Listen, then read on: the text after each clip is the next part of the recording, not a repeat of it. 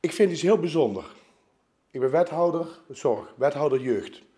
En ik vind het dus heel bijzonder in dit land waar we het hebben over uh, jeugdhulp, jeugdzorg, uh, dat onze kinderen en onze jongeren in Nederland uh, het meeste van heel Europa gebruik maken van zorg. Gebruik moeten maken omdat het niet automatisch goed gaat. En wat ik daar heel bijzonder aan vind, is dat ik daar tegelijkertijd iets in constateer in onze gemeente.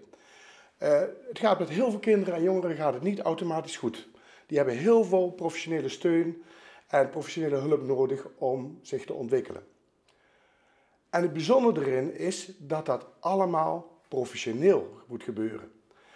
Um, en als we dat vergelijken naar de WMO, dan zien we dat ouderen, zieken, uh, mensen waar het niet vanzelfsprekend is dat ze uh, zelfstandig wonen, dat er heel veel hulptroepen opstaan, uh, verenigingen, organisaties die mensen met raad en daad en bijstaan, ondersteunen uh, om dat bestaan te houden.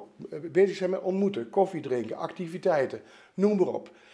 En als we dan kijken naar die kinderen en die jongeren, dan zien we eigenlijk dat de gezinnen waar het dat betreft, dat die in een isolement komen te zitten op het moment dat het niet goed gaat. En dat ze alleen maar afhankelijker worden van die professionals.